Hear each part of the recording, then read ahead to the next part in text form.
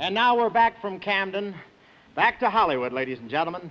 And ladies, hold on to your seats to present the award for the Best Actress and Academy Award winning actor, Ronald Colman.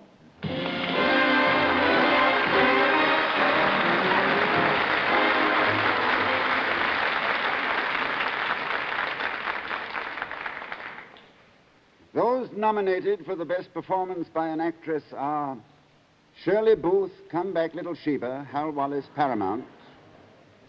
Joan Crawford, Sudden Fear, Kaufman, RKO.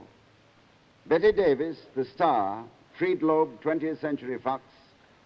Julie Harris, The Member of the Wedding, Kramer, Columbia.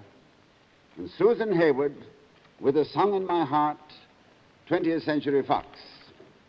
And the winner in New York is Shirley Booth.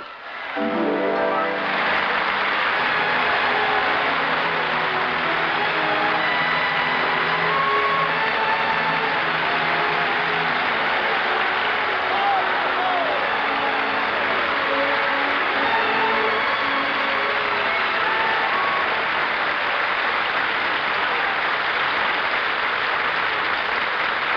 want you to know, sir, that we, uh, that we, uh, about 20 minutes ago, we had a wire from the coast saying we've been very good boys, and we've been upped in our time from a minute and 15 seconds to about 25 minutes for you to make a speech. Oh, well, Popular win, bless you.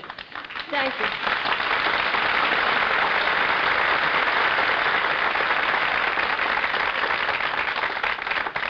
I'm a very happy and a very lucky girl. My luck has many, many names. I won't attempt to list them all. All you have to do is look at the screen credits, and you'll know what I mean. I never could have done it alone. You know I couldn't. It's been a long, long climb. I guess this is the peak. But the view has been wonderful all along the way. I want to thank my old friends for their faith, my new friends for their hope, and everyone for their charity. Thank you.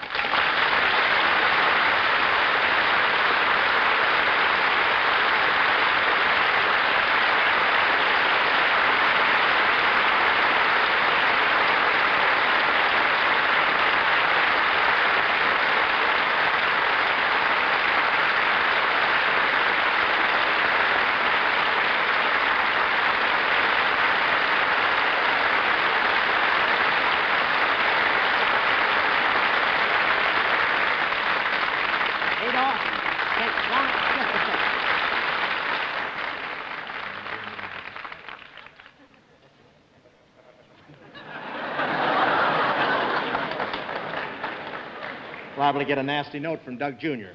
Adolph.